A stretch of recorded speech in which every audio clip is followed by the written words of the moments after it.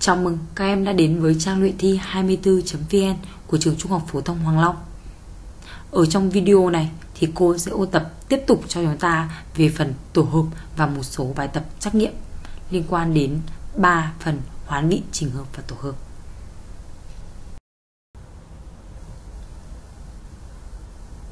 Ở đây, nội dung của phần này gồm hai phần. Đó là tổ hợp và bài tập ba la mã, tổ hợp.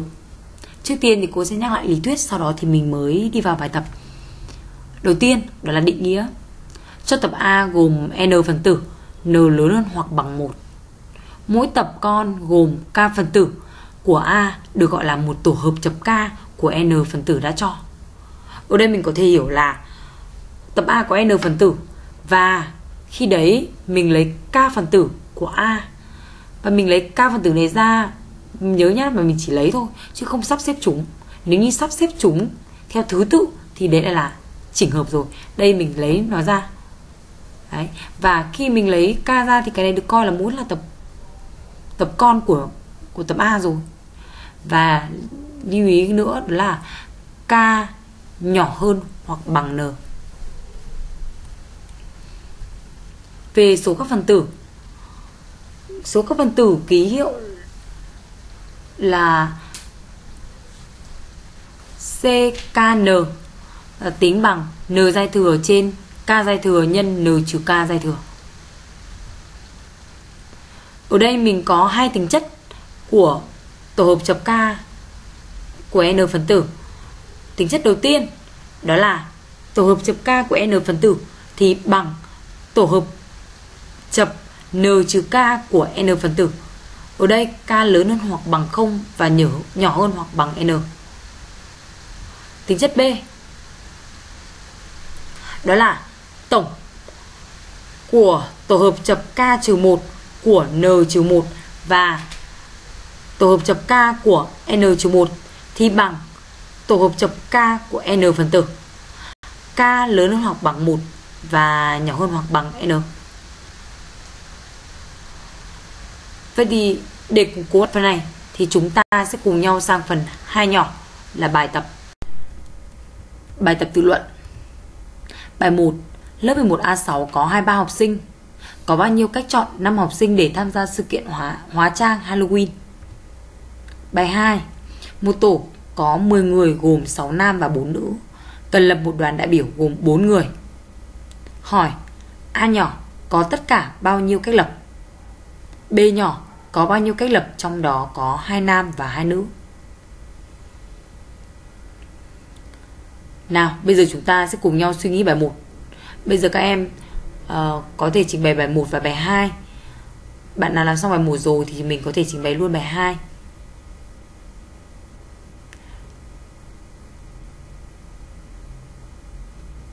Nào, có thể là bây giờ có một số bạn đã có kết quả ngay rồi đúng không? Thì chúng ta sẽ cùng nhau lập luận bài số 1. Lớp 11A6 có 23 học sinh và cần chọn ra 5 bạn. Vậy thì mình sẽ hiểu là N của đây chính là bằng 23 và K ở đây là bằng 5 học sinh. Và mình nhớ là mình chỉ lấy ra 5 học sinh thôi, 5 học sinh để tham gia hóa trang chứ không phải là 5 học sinh này ra để phân chia các công việc cho 5 học sinh. Thì nên đây sẽ mình sẽ dùng tổ hợp. Vậy chúng ta sẽ có như sau. Nhóm học sinh gồm 5 người được chọn là một tổ hợp chập 5 của 23 phần tử. Vậy thì mình sẽ có là tổ hợp chập 5 của 23 bằng 33.649 cách. Nào, đến bài 2. Ý A là có tất cả bao nhiêu cách lập? Với ý A thì tương tự như câu như như bài 1 N của mình là 10 Đoàn đại biểu của mình gồm 4 Vậy suy ra K bằng 4 Có tất cả bao nhiêu cái lập? Vậy thì nhóm đại biểu gồm 4 người được chọn là một tổ hợp chập 4 của 10 phần tử. Vậy thì mình sẽ có là C4 à, C4 của 10 và bằng 210 cách. Tuy nhiên thì mình cần lưu ý ở ý B, đó là người ta hỏi là lấy ra bốn người, tuy nhiên thì trong đấy phải có hai nam, hai nữ. Có nghĩa là mình sẽ phải chọn hai người trong 6 bạn nam và hai người trong bốn nữ. Vậy thì ở đây mình sẽ lập luận như sau. Số cách lập đoàn bốn người trong đó có hai nam, hai nữ. Đầu tiên, chọn nam trước. Số cách chọn hai người từ 6 bạn nam chính là tổ hợp chập 2 của 6 phần tử. Vậy thì đây chính là C2 của 6 cách. Tiếp tục đến chọn nữ.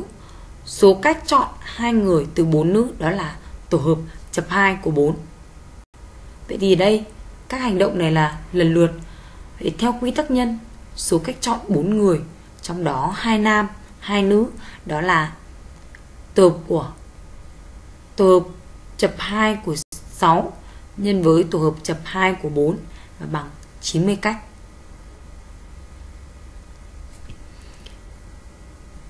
Vậy thì để làm quen với những cái dạng này hơn thì mình sẽ tiếp tục cùng nhau sang bài 3. Bài 3. Trong mặt phẳng cho một tập hợp gồm 6 điểm phân biệt. Ý A nhỏ có bao nhiêu vector khác vector không? Có điểm đầu, điểm cuối thuộc tập này. Ý B nhỏ có bao nhiêu đoạn thẳng được lập? Nào, bây giờ chúng ta sẽ cùng nhau suy nghĩ. Ta thấy cả ý A và ý B là đều phải lấy ra hai điểm. Tuy nhiên thì ở A ý A là lấy ra hai điểm để tạo thành một vector mà chúng ta biết rồi, vector là một đoạn thẳng có hướng, có điểm đầu và điểm cuối. Và khi ta thay đổi hai cái điểm hai cái điểm này thì chúng ta sẽ được một vector khác. Vậy thì ý A mình sẽ phải dùng chỉnh hợp. Còn ý B lấy ra hai điểm và tạo thành một đoạn thẳng. Khi ta thay đổi hai cái điểm này cho nhau, thì chúng ta vẫn được kết quả như cũ. Vậy thì mình phải dùng tổ hợp. Vậy thì chúng ta sẽ trình bày như sau. Mỗi cách chọn hai điểm, từ 6 điểm để tạo thành một vector khác vector 0 là một chỉnh hợp chập 2 của 6 phân tử. Vậy thì số vector khác vector 0 có điểm đầu và điểm cuối thuộc tổ hợp trên đó chính là chỉnh hợp chập 2 của 6 và bằng 30. Ở đây là bằng 30 cách. Ý B chúng ta trình bày như sau. Mỗi cách chọn hai điểm từ 6 điểm để tạo thành một đoạn thẳng là một tổ hợp chập 2 của 6 phân tử. Và mình suy ra số đoạn thẳng được lập chính là tổ hợp chập 2 của 6 phân tử và bằng 15 cách. Tiếp theo, mình sang ví dụ, à, mình sang bài 4. Nếu tất cả đường chéo của đa giác đều 6 cạnh được vẽ thì số đường chéo của đa giác đó là bao nhiêu? Ở bài này thì cô sẽ có một cái đa giác đều 6 cạnh 6 đỉnh như sau. Đây là đa giác KGIHGF. Ở đây thì các bạn à, thì các em sẽ thấy này, cứ hai đỉnh của cái đa giác thì sẽ tạo thành một đoạn thẳng. Đúng không? Và cái đoạn thẳng này thì bao gồm cả cạnh lẫn đường chéo. Vậy thì mình sẽ lập luận như sau. Cứ hai đỉnh của đa giác sẽ tạo thành một đoạn thẳng bao gồm cả cạnh đa giác và đường chéo. Vậy thì ở đây, mỗi cách chọn hai trong 6 đỉnh để tạo thành một đoạn thẳng là một tổ hợp chập 2 của 6 phân tử. Khi đó mình sẽ có là tổ hợp chập 2 của 6 phân tử và bằng 15 cạnh, bao gồm cả đường chéo và cạnh của đa giác. Tuy nhiên thì bài này hỏi là vẽ được số đường chéo là bao nhiêu? Vậy thì mình sẽ phải trừ đi 6 cạnh của cái đa giác. Ở đây mình suy ra, số đường chéo là 15 trừ 6 bằng 9 đường. Và ở đây cô cũng sẽ cho một cái công thức tổng quát khi mà có một cái bài tương tự như này. Số đường chéo của đa giác n cạnh sẽ là tổ hợp chập 2 của n trừ đi n. Vậy thì các bạn nhớ nếu như dạng bài này mà ở có ở câu trắc nghiệm thì mình chỉ việc uh, nhớ công thức đó là tổ hợp chập 2 của n trừ n thì sẽ ra số đường chéo của đa giác. Trên đây là một số bài tập tự luận. Uh, bây giờ cô và các em sẽ cùng nhau vào một số bài tập trắc nghiệm. Câu 1. Cho tập hợp A gồm 9 phần tử. Đó là các số tự nhiên từ 1 đến 9. Có bao nhiêu số tự nhiên gồm 5 chữ số khác nhau được lập từ tập A? Nào, ở đây n của ta là 9. K được lấy ra từ n chính là bằng 5. Và ở đây mỗi cách chọn 5 điểm phân biệt từ 9 điểm đã cho để tạo thành một số tự nhiên, chính là một chỉnh hợp chập 5 của 9 phân tử. Vậy thì đây chính là A5 của 9 đúng không? Chúng ta bấm máy tính, hoặc chúng ta có thể tính, áp dụng công thức chúng ta sẽ tính ra được, đó là, ra là 1.000 15.120 Vậy thì đáp án của đây đó là đáp án C Câu hỏi 2 Trong mặt phẳng, cho 6 điểm phân biệt, sao cho không có 3 điểm nào thẳng hàng? Hỏi, có thể lập được bao nhiêu tam giác mà các đỉnh của nó thuộc các điểm đã cho? Nào, đây mình cần lưu ý. Để lập được một tam giác thì cần phải có 3 điểm. Và 3 điểm này phải không thẳng hàng, Để bài đã cho hết rồi, đúng không? Vậy thì bài này mình nên dùng tổ hợp hay chỉnh hợp? Cùng nhớ lại định nghĩa này. Dùng chỉnh hợp khi mình lấy k phần tử từ n phần tử và mình um, sắp xếp thứ tự của k phần tử thì mình sẽ được các kết quả khác. Còn tổ hợp mình lấy k phần tử từ n phần tử ra và khi sắp xếp thứ tự của k phần tử nó không làm thay đổi kết quả. Vậy thì bài này khi mình lấy 3 điểm ra và mình sắp xếp lại thứ tự của ba điểm này thì nó vẫn là một cái tam giác. Thế thì bài này mình phải dùng tổ hợp. Vậy thì ở đây mỗi cách lấy ra 3 điểm từ 6 điểm phân biệt để tạo thành một tam giác chính là một chỉnh một tổ hợp chập 3 của 6 phân tử. Vậy thì mình sẽ có C3 của 6 chính là bằng 20 tam giác. Đáp án A. Nào, tiếp theo chúng ta sang câu 3 cho hai đường thẳng song song D1 và D2. Trên D1 có 17 điểm phân biệt, trên D2 có 20 điểm phân biệt. Số tam giác mà các đỉnh được chọn từ 37 điểm này.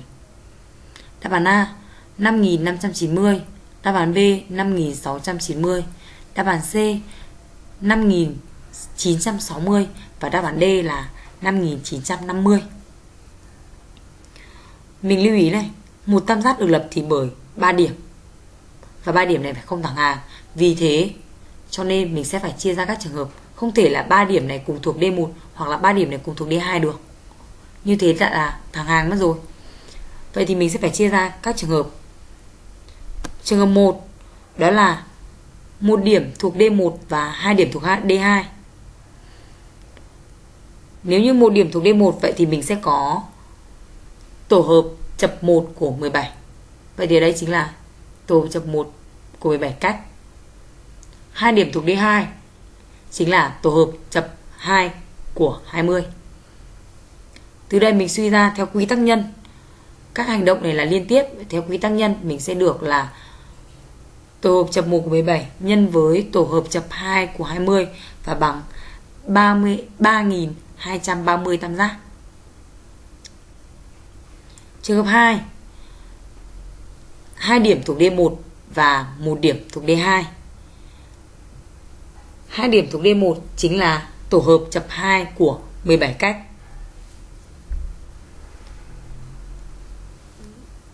Một điểm thuộc D2 chính là tổ hợp chập 1 của 20. Ở đây mình cũng theo quy tắc nhân, hai hành động cũng là liên tiếp, vì vậy thế mình phải áp dụng quy tắc nhân. Mình được là tổ hợp chập 2 của 17 nhân tổ hợp chập 1 của 20 bằng 2720 tam giác. Hai trường hợp này là hai hành động riêng biệt. Áp dụng quy tắc nhân à quy tắc cộng mình sẽ có cộng hai trường hợp, cộng kết quả là 3230 cộng với 2720 mình được 5950 tam giác được lập. Vậy thì đáp án đúng chính là đáp án D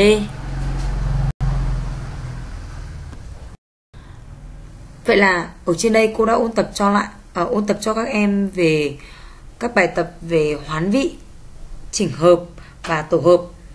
Sau khi kết thúc hai cái video này thì các em cần phải nắm được bản chất của hoán vị, chỉnh hợp và tổ hợp. Hoán vị là như nào? Cho n bây giờ cô sẽ nhắc lại lý thuyết này. Cho n phần tử và khi mình đổi chỗ n phần tử này thì nó ảnh hưởng đến kết quả. Còn về chỉnh hợp và tổ hợp cho tập A có n phần tử mình lấy ra k phần tử và nhớ là k này phải, nhỏ hơn hoặc bằng n. Đối với tổ hợp, khi mình lấy k phần tử này ra và mình đổi chỗ các phần tử của k thì nó không ảnh hưởng đến kết quả. Còn chỉnh hợp, mình lấy k phần tử ra và đổi chỗ chúng thì nó ảnh hưởng đến kết quả. Vậy thì về nhà, cách mà để nhớ thì các bạn phải ôn tập lại tập thật nhiều về hoán vị chỉnh hợp và tổ hợp. Cảm ơn các em đã lắng nghe. Xin chào và hẹn gặp lại.